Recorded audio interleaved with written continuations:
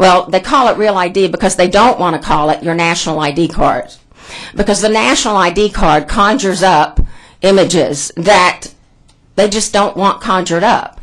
The only country I can think of that had a national ID that I studied about in history was Nazi Germany.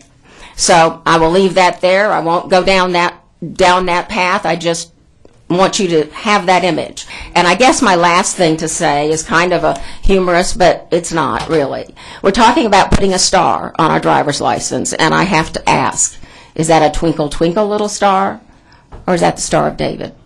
Because we all know where that went. Hey, Mr. McDade, thank you for your testimony. Representative Jones? One, one question. Do you favor a pictured ID to be able to vote? Oh, I, I think in Louisiana, we have the right to require a picture ID, absolutely. I don't have a problem with that.